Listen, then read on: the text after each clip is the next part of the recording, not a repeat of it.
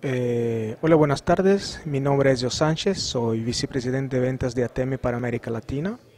Eh, estamos aquí en este evento promoviendo los productos de videocompresión de ATM.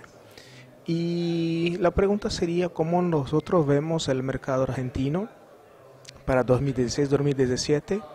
La verdad que vemos de una manera muy positiva, eh, un poco diferente de que estaba pasando año pasado Ahora me parece que el mercado argentino está con una energía un poco diferente, están más positivos para la inversión y ATM junto con exactamente con este espíritu está, está invirtiendo mucho en la región, incluso eh, en Argentina.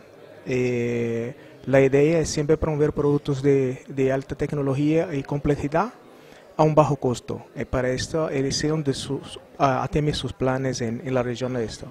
Y que ya tenemos eh, mucho éxito aquí en, con clientes argentinos eh, y también toda Latinoamérica Latina, y enfocando esos cuatro países que serían México, Brasil, Argentina y Chile, con esfuerzos adicionales para cumplir exactamente la demanda del mercado de la región.